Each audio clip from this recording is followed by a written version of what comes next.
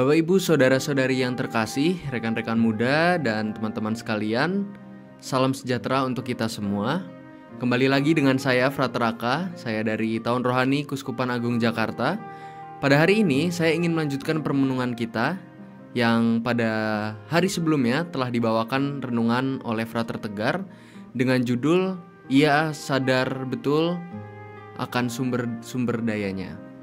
Pada hari ini, saya ingin membawakan renungan mengenai ia menyadari tujuan hidupnya.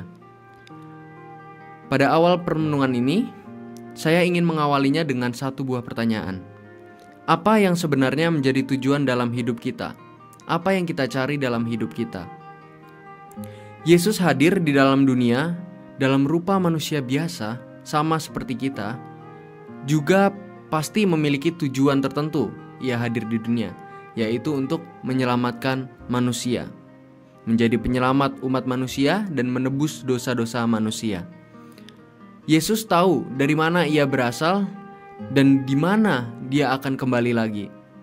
Maka dari itu, dalam permenungan kali ini, saya ingin mengajak kita semua untuk merenungkan bacaan ini dan kita bisa merefleksikan agar diri kita bisa menjadi seperti Yesus.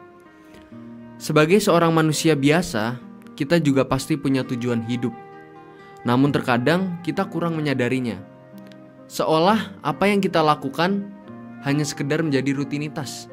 Misalkan, kita melakukan pekerjaan di sebuah kantor atau di sebuah rumah sakit.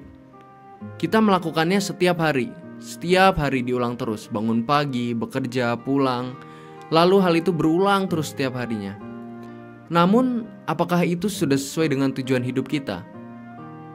Dan bagaimana kita bisa mengetahuinya bahwa itu memang sesuai dengan tujuan hidup kita? Sebetulnya kita bisa mencari hal tersebut dengan cara kita merefleksikan diri kita sendiri. Apakah kita bahagia dalam menjalani kegiatan tersebut atau pekerjaan tersebut? Atau adakah muncul suatu bisikan hati kecil yang membuat diri kita tuh merasa gundah? Merasa bahwa Sepertinya yang saya lakukan ini tidak sesuai dengan diri saya, tidak sesuai dengan tujuan hidup saya. Saya yakin saya dan kita semua pasti pernah merasakan hal itu. Tetapi, apakah kita tetap teguh dengan apa yang telah kita lakukan, apa yang telah kita pilih, apa yang telah kita tentukan sebagai tujuan hidup kita? Tentunya kita kembali lagi berpedoman pada Yesus Kristus yang ia hadir ke dunia dengan tujuan menjadi penyelamat umat manusia. Dari hal itu, saya mendapatkan satu poin utama, yaitu kita juga bisa menjadi berkat. Kembali lagi dalam kisah yang tadi, jika kita melakukan pekerjaan sehari-hari, pertama, apakah kita sudah bahagia melakukan hal itu? Dan kedua, apakah kita bisa menjadi berkat bagi orang lain dan sesama kita? Jika iya, maka bisa dikatakan tujuan hidup kita sudah sesuai. Namun pertanyaannya, jika kita mau bertekun dalam hal tersebut, bertekun dalam tujuan kita dan terus berdoa menemukan arah tujuan kita, pasti kita akan senantiasa diberikan jalan yang terbaik. Contohnya, satu pengalaman yang pernah saya alami adalah ketika masuk seminari. Waktu awal saya masuk seminari menengah, mungkin ada perasaan yang muncul dalam diri saya, yaitu adalah perasaan bingung. Bingung kenapa? Karena ketika saya melihat teman-teman saya yang bisa dikatakan seumuran dengan saya, mereka sudah memilih tujuan hidupnya masing-masing, entah ada yang berkuliah atau ada yang bekerja, sedangkan saya masih di dalam seminari, menjalani formasi yang dengan kegiatannya tuh bisa dikatakan berulang-ulang terus-menerus menjauh dari dunia. Bisa dikatakan seperti itu. Namun, mengapa saya hingga saat ini masih bisa sampai di titik ini?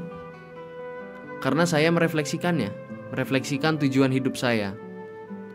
Saya merasa bahagia ketika menjalaninya, walaupun saya berpikir, kok teman-teman saya sepertinya hidupnya lebih enak ya. Namun, itu hanya sebatas pikiran saya. Namun dalam kehidupan nyatanya, saya sungguh bahagia dalam menjalani formasi di seminari ya hingga titik saat ini. Maka bisa dikatakan dengan satu kata bahagia ketika kita melakukan suatu hal itu bisa menjadi indikator untuk kita mengetahui bahwa ini adalah tujuan hidup kita. Maka dari itu Bapak Ibu, saudara-saudari yang terkasih, rekan-rekan muda, saya ingin memberikan suatu pertanyaan reflektif, yaitu apakah ada perasaan yang seolah muncul saat Anda menjalani momen atau melakukan suatu hal? Jika ada, apakah hal itu berpengaruh untuk diri Anda dan merubah keputusan arah tujuan hidup Anda? Karena tujuan hidup berpusat pada diri sendiri yang dapat membawa kebahagiaan bagi diri sendiri dan juga orang lain. Tidak hanya untuk mementingkan diri sendiri, kebahagiaan sendiri, namun juga bisa membahagiakan orang lain. Semoga dengan permenungan ini kita bisa menjadi pribadi yang bisa lebih mengenal tujuan dalam hidup kita dan bisa menjadi berkat bagi sesama di sekitar kita. Maka dari itu, untuk menutup permenungan pada malam hari ini, marilah kita bersatu dalam doa. Dalam nama Bapa dan Putra dan Roh Kudus, amin. Allah Bapa yang Maha Murah, kami mengucapkan syukur atas berkat dan rahmat bimbinganmu sepanjang hidup kami hingga pada malam hari ini. Engkau telah memberikan hari yang cerah, Engkau telah memberikan kehidupan yang bahagia bagi kehidupan kami, dan sekarang tibanya kami ingin beristirahat.